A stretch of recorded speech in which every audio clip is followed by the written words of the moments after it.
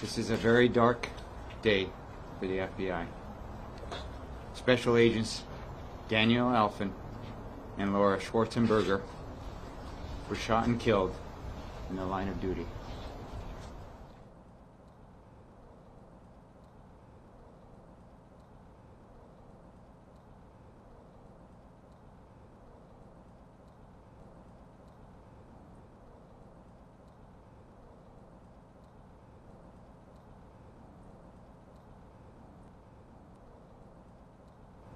Five agents were struck by gunfire, resulting in the deaths of two agents, with the other three agents sustaining wounds of varying severity. The subject is also deceased. Today, this grim reality has taken two of our best from our family.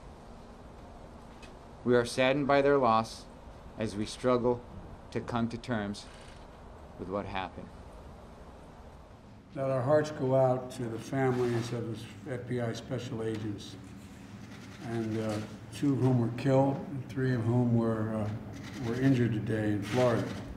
And uh, my heart aches for the families. I've not had an opportunity, nor will I try today, to, um, to contact them, but uh, they put their lives on the line, and uh, it's a hell of a price to pay.